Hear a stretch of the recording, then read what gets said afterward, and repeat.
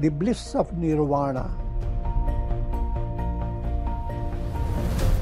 The coolness of a thousand snows from the Himalayas enter into my heart as peace of nirvana unfolds within me.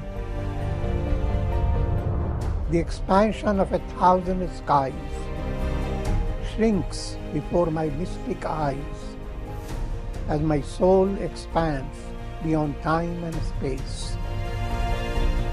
The silence of a thousand rocks settles within my heart as the mind melts in samadhi, singing the song of eternity. The waves of joy from a thousand oceans, spurred up by the winds of ecstasy, rise and fall within me and a thousand clouds of virtue gather and dance with lightning flashes of intuition, roaring with thunder of non-duality.